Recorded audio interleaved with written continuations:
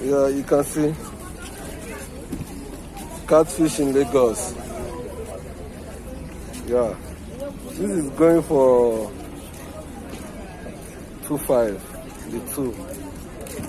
Yeah, you guys decide this. Two four two five. One is for about one five. So Lagos, Nigeria. How many dollars will it cost?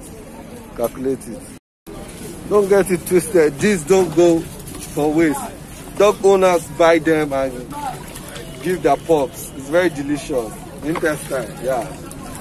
So this is it.